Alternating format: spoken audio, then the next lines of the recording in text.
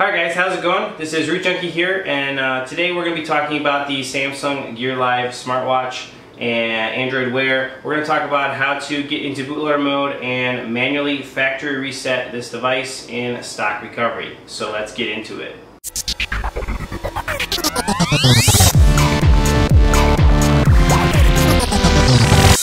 Alright guys, so this is going to be the process. This is very, very simple to do on your watch. Um, factory reset manually by getting into bootloader mode. So to do this, we're going to uh, look at our watch here. You got the little button on the side, the little power button. You're going to just keep holding that button.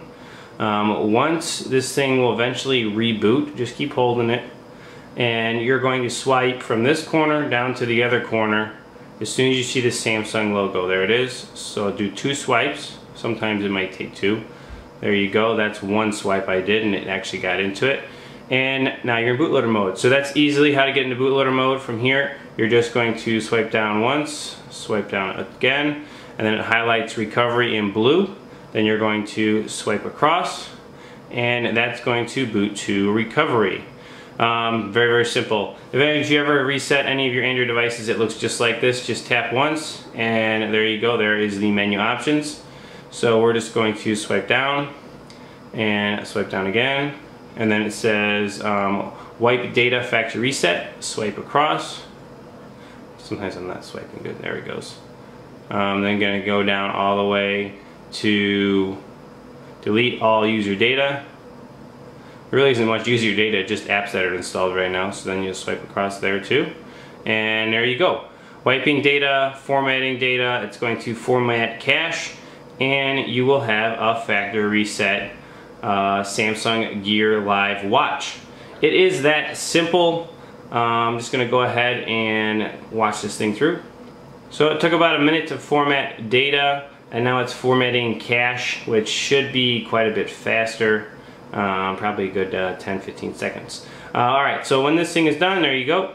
Um, you are on the reboot system now already. You can just go ahead and swipe across and your device will reboot. First boot up is going to take a little longer than a normal boot up of your watch, so be ready for that. Um, no more than probably three to five minutes, um, maybe even faster than that.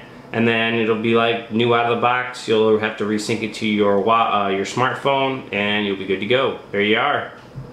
So there you go, that's pretty much it. Pretty simple, just go ahead and reconnect your watch to your phone, reset up all your stuff. All your apps will automatically uh, reinstall after uh, doing your factory reset. So that's really, really cool. Uh, if you like videos like this, uh, tutorials on how to do stuff on your watches, your tablets, your phones, um, please check me out at uh, my channel. I'll give you guys links to that in the description down below along with uh, some links to XDA and all that kind of good stuff. It'll all be down there. Uh, please subscribe. Hope you guys like this content and uh, stay tuned for more like this. And we'll catch you next time.